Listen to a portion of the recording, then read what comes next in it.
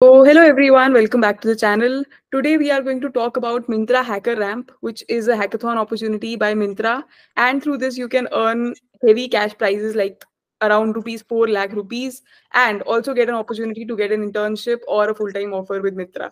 So for this we have with us Anushka, who is currently a software engineer at Myntra and she has cleared the Myntra Hacker Ramp hackathon three times. So one was external, two times were internal she has also cleared JPMC Code for Good hackathon. So she's going to tell us all about how, you know, what is the eligibility and from that, how she got selected and how you can get selected too. So Anushka is the perfect person for all of this. So hello, Anushka. Welcome to the channel. Hi, Misha. Thank you for inviting me here to the podcast. I know it the process of HackerRamp didn't happen in the last two, three years. I know this is uh, happening after two, three years. So a lot of students might want to know how it, how things go about because during these two years also people used to message me on LinkedIn regarding uh, how do we get an internship, etc., etc. So I think this will really help them. Thank you for doing this. Okay, okay, awesome. So let's get started without further ado. My first question is why you should apply to this opportunity. Like, what are the perks if I apply to Myntra Hacker Ramp? So, firstly, if you want a job or internship at Myntra, if you are from a tier three, tier three or tier two college, and even from a uh, lesser known IIT and IT college, so Myntra doesn't come on campus. So, this is the only way you can get an internship or a job. So, uh, while I was participating, I did not even know that PPI opportunity exists. I just participated for the exposure because around 6,000 teams participate. So there are two hacker ramps basically. One is only for IITians, wherein boys and girls both are allowed, and this one is only for females, where uh, all the colleges are allowed, but only for females, as it is said. So uh, the the cash prices are pretty good. During my time, it was for the first winner there was one lakh fifty thousand. Second team was one lakh, etc. But now I think it's four lakhs. So I think it's a great opportunity. You should definitely participate. And during the hackathon you get to learn you get exposure you get to meet the Myntra's uh, associate architect or architect you get to be mentored by them. So i think it's a big thing to uh, do it in your btech journey. And who all are eligible for this hackathon? So for this hackathon um, females are eligible for this uh, Myntra Hacker Ramp WeForShe hackathon, which is uh, eligible for all college students uh, for all colleges, tier one, tier two, tier three, whatever college you are in, you need to be in your second, third, or fourth year of BTech, or in your MTech, you can be in your first and second year, or in your dual degree, you can be in your uh, third, fourth, fifth year. Uh, the rest of the students are not eligible as uh, if you are in your second year, let's say in your BTech, you get an opportunity to P- do a PPI, that is pre-placement interview for your internship. But if you are in your fourth year, you get an interview directly for your job offer. Okay, okay. And uh, yeah, if you're in your first year of BTech, you're not eligible to participate. If you are in your first or second year of dual degree, you are not eligible to participate. And you need to register in teams of two or three. And uh, apart from that, you can also have cross teams, like teams from different colleges are allowed. So all of this is mentioned on the Unstop website. So I'll put the link in the description and you can just go and check out uh, what is the eligibility criteria. But uh, most of the things we have covered. Cool. So uh, next is what is the program structure? Like what is the first phase? What is the first step? Then the second, the third, the fourth. Just in brief. Uh, so once you register on uh, Unstop, you get an option to create a team or join a team. So you can do either of that. Once you do that, you have a deadline of uh, submission submitting your ideas in a PPT format. So once you do that, there is a deadline. Uh, let's say for 15 days, you have time to finish and complete that and submit it. After that, you get uh, the second round that is preparation, wherein you prepare your prototype, you show it to the mentors, which are associate architects or architects from Myntra. They generally guide you on what to do in your next steps. Then you have your semifinals and then your finals. So it, during our time, it, there were 6,000 teams who started, and the, in the semifinals, there were around 11 teams. Okay, so the first uh, step is the ideation phase, and in which you have to, you know, submit your idea as a PPT. So I think this is the most important because you will, if you don't get selected in this, uh, and I think this is the most competitive also because very few teams get selected. So what are your like? How does it work? What was your idea, and what do you think are some things you should keep in mind while making an idea for the Hacker Ramp hackathon?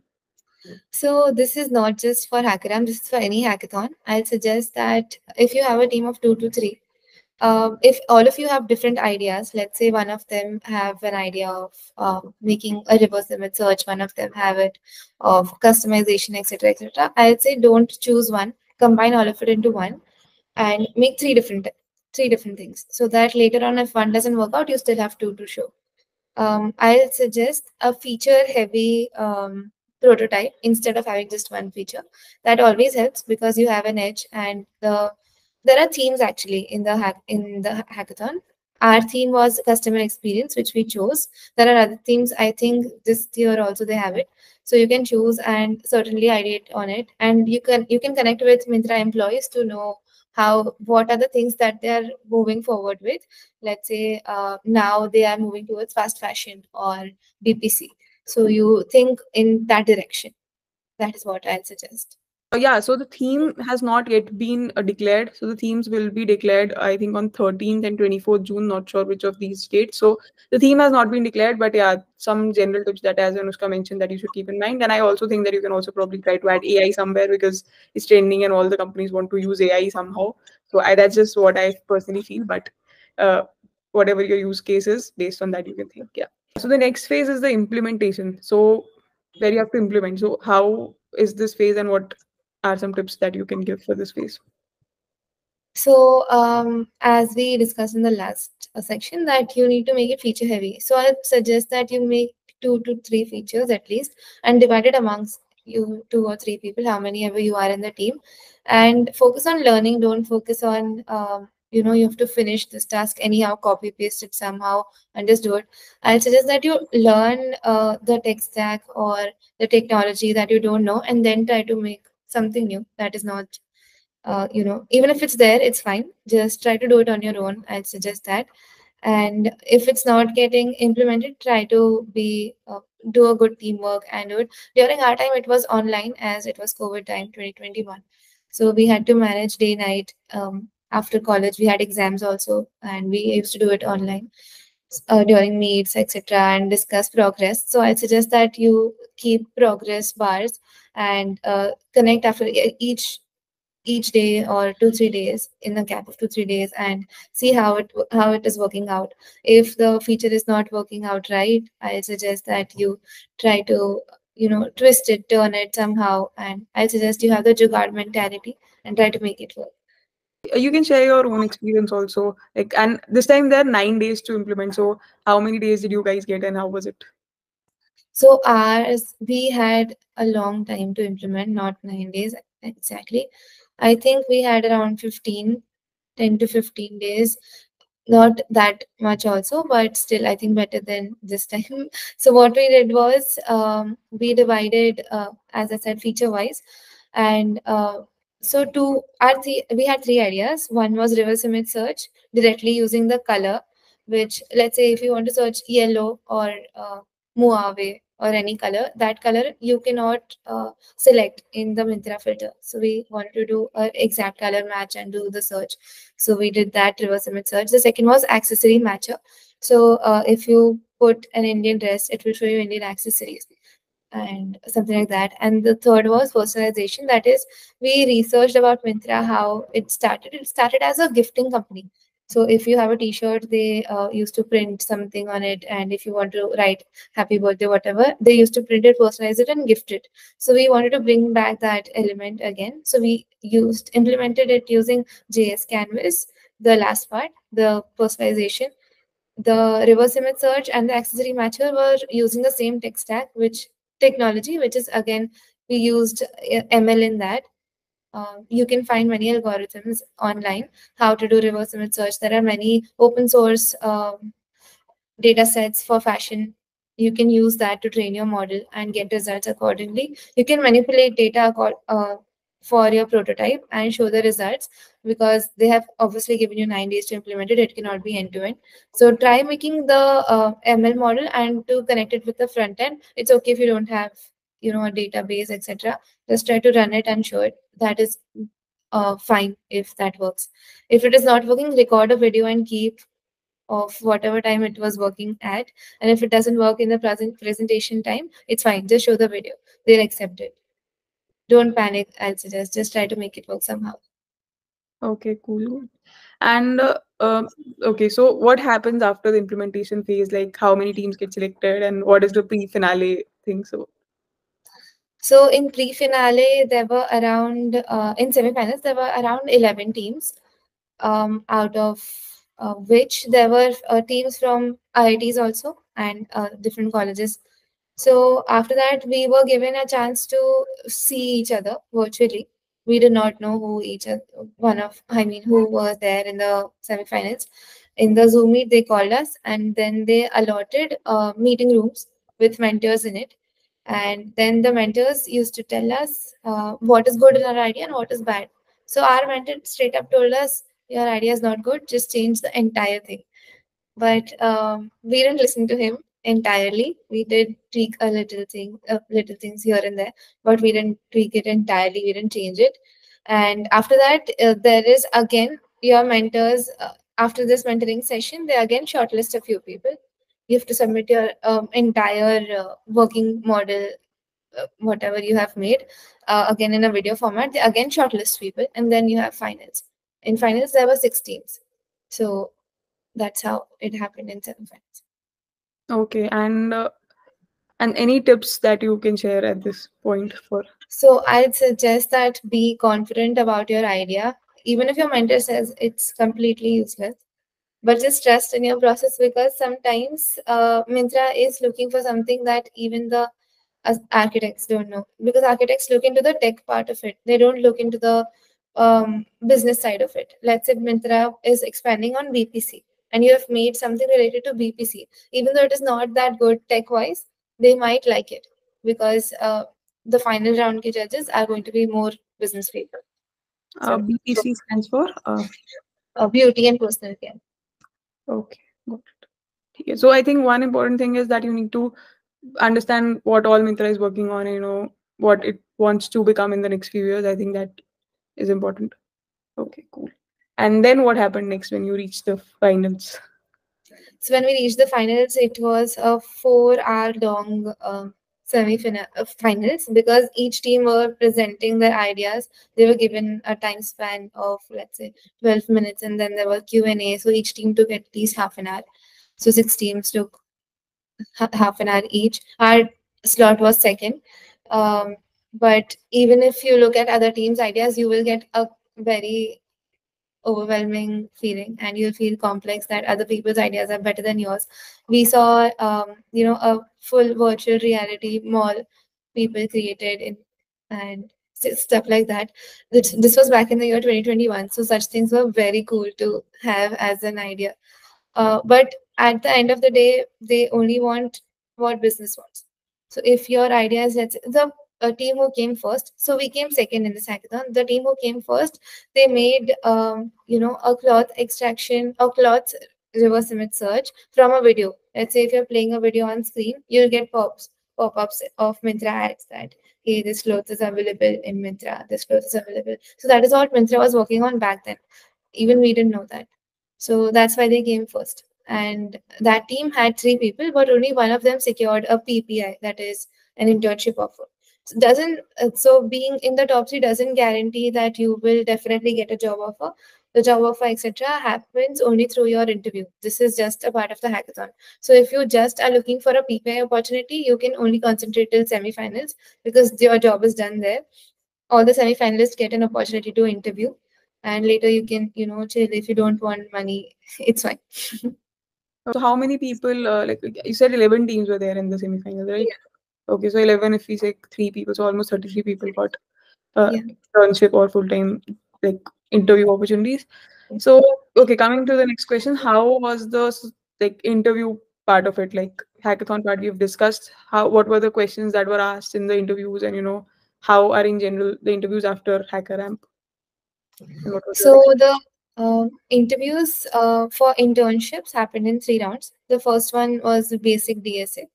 Um, basic DSA they asked about array, string, linked list, maps, easy topics. Then in the second round, they asked about uh, DP, graphs, etc. So you have to study those topics. And the last one was again little bit of DSA and uh, hiring manager round combined. So um, they were checking your behavior as well.